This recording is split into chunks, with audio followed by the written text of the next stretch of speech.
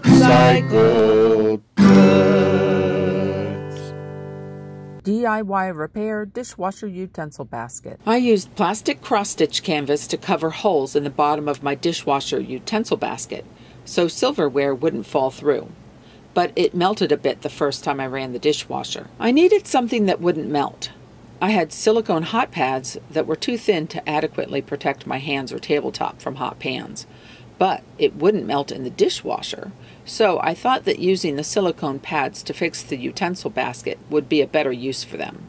I had already measured the sizes I needed when I'd cut out the plastic cross-stitch canvas, so I simply traced those pieces onto the silicone hot pads. But if you're doing this, just use a ruler or tape measure to find what size you need and mark it on whatever material you're using. I cut out the three rectangles I'd marked.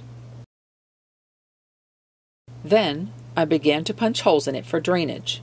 Be sure there's enough drainage so water doesn't pool in the bottom of the utensil basket. I found that if I just cut the holes with scissors, the silicone could split apart. These little round punched holes don't rip, but if you cut it with scissors, it does, and it rips until it hits one of these round holes, then it stops. So this isn't going to be very stable, I don't think. If you want to cut with scissors, you could punch holes at the ends of your cutting lines to prevent tearing. Leftover silicone circles could be used for other projects, such as making bead spacers for jewelry making. However, they probably wouldn't be good for projects that involve gluing, since they have a non-stick surface. Lastly, I set the silicone squares into the bottom of the broken utensil basket compartments to cover the holes.